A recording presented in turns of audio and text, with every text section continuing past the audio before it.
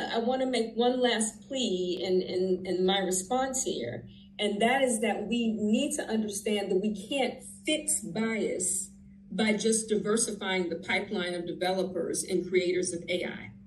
We have to really reimagine what that pipeline looks like. And I want to start with the students that are listening and the teenagers that are listening to this call today. I want you guys to also think, and the adults, think about who sets the agenda with developing these AI systems? Whose problems are we trying to solve?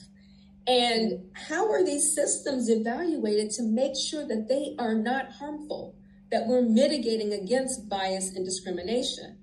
And that's one of the things I do through my Luminous Leaders organization. I work with emerging talent, especially women and professionals from the underrepresented communities, because I want to equip them not just to participate in tech, not just to be a user, but I want them to learn how to effectively make their voices heard and valued so that they can reshape, reshape the tech industry and the AI conversation from the inside out.